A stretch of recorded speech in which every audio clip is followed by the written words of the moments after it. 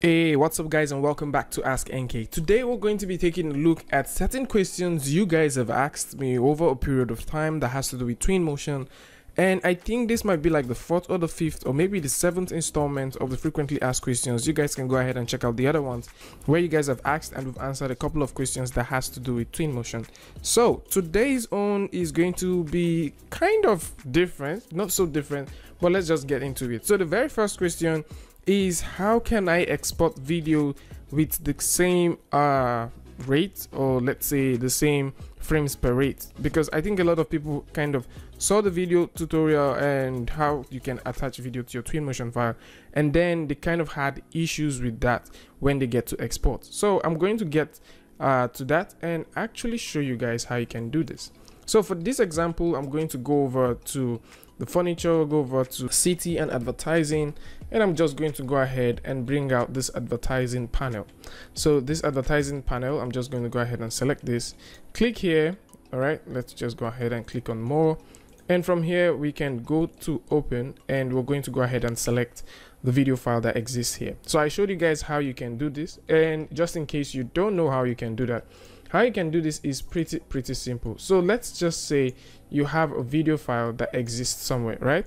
And the video file is supposed to be saved as mp4 so i have this same video file here which is saved as mp4 but in twinmotion that file extension is not seen.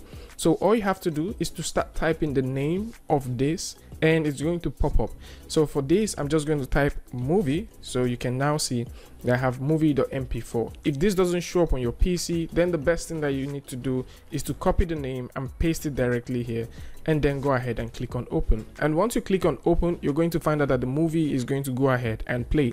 Now if you're attaching this to something and the scale is not appropriate so for example let's say the scale that you're working with is not appropriate you can go ahead and change the scale and also you can come to through more and move these things uh, left and right depending on what you want to get all right.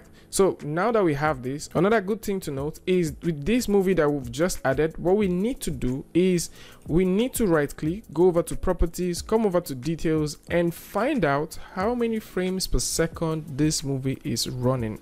All right? So we need to find out how many frames per second. So this says it's running at 24 frames per second and we know twinmotion doesn't have uh, such frame rate. So we can go with the best possible one. So meanwhile before we start doing that let me just go ahead and make a couple of shots. Let's just do that real quick. And let's go ahead and play back and see what we have. So we have a couple of shots directly in our scene here. Let's put a bit of a cloud you know and let's see what that's going to look like. Okay so i'm just going to go in here click on more just put a bit of cloud just to see what it looks like. Okay kind of looks good. Okay so now that you you're ready and you have what you want to work with the best thing you need to do is go over to export click here select the clip which you want go over to more. Then within this part where you have the file format you can click here and then change the frame rate. So if your frame rate is 60 frames per second this video once you render it is going to be super super fast if your frame rate is 30 frames per second it's to be a bit fast but not as fast as you know 60 frames and the same thing goes for 180 so since we have this at 24 frames per second the best possible one we can use is you know 25 frames per second so once you have this ready all you need to do is select the file format that you want if you want to export as image sequences so yeah you can go over to After Effects and compile it later. Of course, you can select PNG if you want to export it as MPEG so that you can just directly use it. Of course, you can save that as zip and always remember remember to turn on reflection and turn on maximum lighting, especially if you have your reflection probes directly in your scene. And with that done, all you have to do is go ahead and hit the export button and export this out. And this is basically how you can go ahead and, you know, fix that one. So let's talk about the next thing which you guys have asked, which has to do with painting grass in a large, you know, environment. So there's a question that has to do with how can you go ahead and paint grass in a large environment. Since in some other apps, just click a button and the grasses are just there, especially when you select the material. Twinmotion has a very, very flexible way that you can do this. And I'm going to go ahead and explain this to you guys. But before I do, let me just go ahead and answer one simple question that you guys have also asked. And that has to do with speed. So with already talked about speed earlier in the time so you guys can go ahead and check out the twinmotion tutorial you know playlist that we had where we talk about you know how you can drive around your scene. So for just uh, a bit of you know clarity what i'm going to do is i'm just going to go ahead and just drop in a couple of cars. So let me just select this and just drop a couple of cars here and there. All right now that's a whole lot of cars. Okay so i'm just going to drop a couple of cars here and there. I'm selecting one of them all right and I'm just going to press F on my keyboard so I can frame in on those. So how do you control speed? Right now Twinmotion doesn't have a unit of scale which you can use to dial down how slow your camera moves or travels in your scene or maybe dial up how fast it gets to move. So how you can move or how you can run around this is by using shift. So if you're pressing W on your keyboard which is for you to travel in, if you hold down shift it travels way faster, alright? If you go ahead and hold down shift it travels way faster. Meanwhile if you hold down alt and press the w key it travels quite slow all right there is a bit of an effect that you're going to find there. So alt it travels slow. This is the normal speed. This is alt. This is the normal speed all right let's just go back one more time. And this is shift and you can see how fast it travels. So you guys can go ahead and try that out. So just in case you are one of those you know guys that has sent me a couple of emails asking how do you go ahead and change the speed of your stuff i think this is going to answer your question. So let's move on to the next one which has to do with painting grasses in a large environment. All right so we have this scene that is open and this scene is uh, one of those scenes that i kind of worked on a long time ago. So what we have here is a large scene. I'm just going to go ahead and play this back so you guys can see.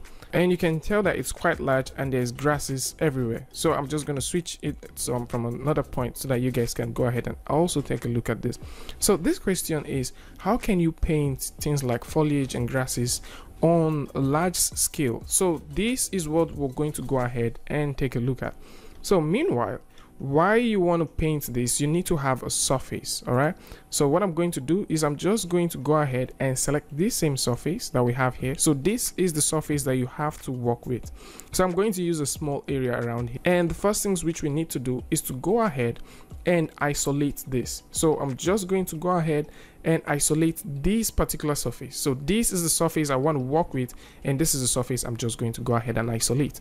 So now that I've isolated this surface, I can come through, go over to vegetation and pick any brush that I want and paint as much as I want. And so just to let you guys know, the recent version of Twinmotion comes with a couple of grasses, incredible ones at that, so you can play as much as you want with this. So I can just go ahead and drag in one and I, you know, pick something else. So I can just drag in this other one. So if I click that, hold on control, click on that, hold on control, click on that. And with my brush right now, I can come through and paint effortlessly around my scene all right so i can come through and paint effortlessly around my scene. So the more things that you add to your scene the more dense your scene gets. And a very good way to check this thing out is to check through the statistics. So right now my frame is dropping a little bit more. So what i can do just to get me up to speed especially if you're working on something really really dense like this is to come over to quality. So i'm actually using ultra. You can drop it down a little bit so that i can have some liberty on how you're going to go ahead and paint this so let me just zoom right in just a little bit and then I can go ahead and paint you know without the care in the world if it's going to touch or you know get into the building or not. So I think this is also one of those things that a couple of people get to battle with and I guess this might be a bit of help for you guys. So if you guys find this very useful please tell me in the comment section I'll be really really excited to know that it's uh, you know it's helping someone out there. And if you want to make changes to any of these things of course you can make changes to any of them. And at the end of the day once you're done you can just simply go ahead. Like if you make changes to all of this you can go ahead and select them you know together and come back here and you know start making your paintings. So I guess this would be quite helpful to a couple of people and now let's talk about the very last one so the last one which we have here is about glowing materials so there is a time which we covered a lot of topics that has to do with materials. We've covered how you can create your own customizable materials, how you can make materials from scratch, how you can play with materials. But today we're going to look at glowing materials. So it's a question that someone is asking. So what in case you're doing a billboard and you want the billboard to glow in the night how do you go ahead and fix that? Or how do you get to you know attach things and make them glow? So we are going to go ahead and take a very good look at that. But before then let's just simply exit this right now. And let's just go ahead and dive right in there.